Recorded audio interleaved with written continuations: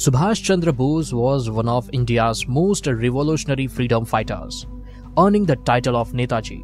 Born on 23 January 1897, Netaji was born to an affluent family in Cuttack, Odisha. Since an early age, Netaji was greatly influenced by Indian visionaries like Swami Vivekanand and Ramakrishna. Owing to his father's wishes, Netaji moved to London in 1919 to prepare for the Indian Civil Services examination. Despite attending 4th rank in the examination, Netaji was not happy serving under a foreign government. In April 1921, Netaji resigned from the Indian Civil Services in London and returned to India.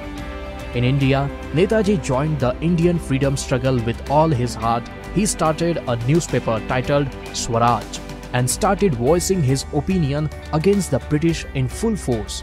Netaji founded the Indian National Army and inspired thousands of Indians to fight the British.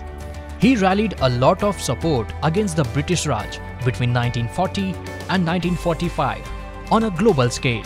However, due to catastrophic circumstances, Netaji could not witness India gain freedom in 1947. Today on Subhas Jayanti, Sandip University urge you to spare a moment and salute India's dynamic son a real hero and a brave fighter.